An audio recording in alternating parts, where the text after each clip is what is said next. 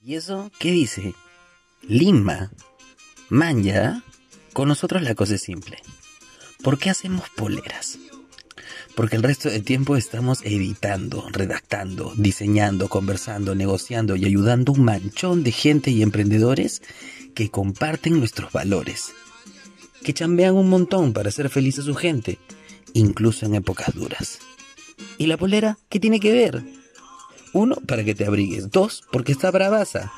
Y tres, para que lleves en el pecho más historias de lucha, amor, pasión y resiliencia como la tuya. Porque tú eres la historia de Lima.